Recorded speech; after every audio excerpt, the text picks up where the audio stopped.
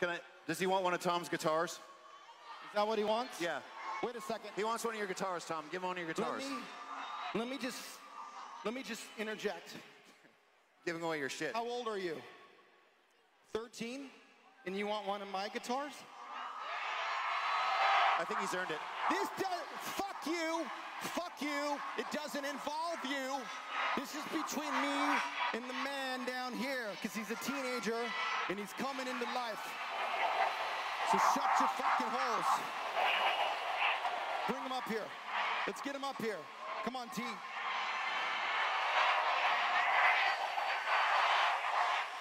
Say hello. What's up? What's your name? Hudson. Hudson!